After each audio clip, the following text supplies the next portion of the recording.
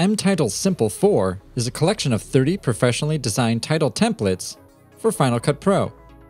It's a fast, easy way for you to create great looking title animations for your projects. Use them for openers, chapter markers, end screens, and more. After installation, mTitles can be found in the Generators Title tab of Final Cut Pro. Click Generators, expand Titles, and click on mTitle Simple 4 to access them. Hover over any of the templates to preview them. These title templates are best used atop footage in your project. To use the title templates, select one from the templates browser and drag it to your timeline. To retime your template, drag the edge handle to its new duration. Select it in the timeline to access the on-screen controls. These controls allow you to alter the position, scale, and rotation of your title template. To access additional controls, with your title selected, open the Inspector panel of Final Cut Pro. Inside this panel are controls for text, colors, and more. To change the text, select the text box and enter in your own text. Use the font and text controls to further alter your text. Repeat this process for any other text box. Use the bar and frame controls to alter those items. Need to move beyond the max values of a slider? Try dragging the numerical value to override the control maximum and create a full width graphic. Click the color well to change the colors of the selected items.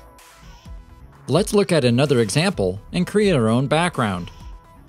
To create a custom background, open the Solids category in your Generators panel. Inside here, choose a solid background and place it onto your timeline.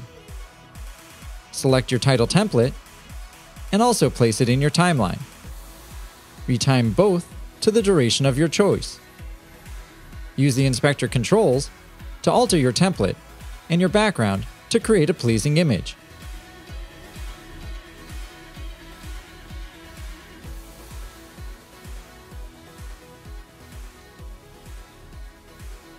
In this example, I have a graphic animating and I'd like it to stay on screen for the duration of my clip and transition with the clip underneath it. mTitles have dedicated controls for animation in and out of scenes. By default, the animations are set to on and can be accessed via the inspector with the title selected. By clicking Animation Out Off, our template will now play to the end of our scene. Adding a transition at the end of our clips may have undesired results.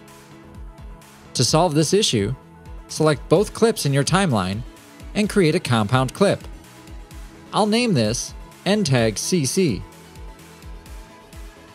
And with the compound clip in my timeline, add a transition to have it work as expected.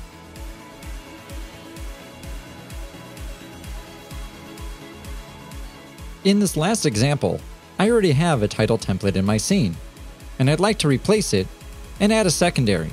To replace a title, choose the title you'd like, and drag it atop the clip to replace.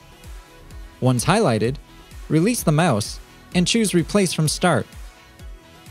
Open the inspector to reformat any text and use the on-screen controls for placement. To add a secondary title, drag and drop it above your previous template. Trim to desired length, and use the on-screen controls and inspector to adjust your placement and customization. mTitle Simple 4 makes it fast and easy to create great looking animations with just a few clicks. For more information about the best templates and plugins for Final Cut Pro, visit motionvfx.com.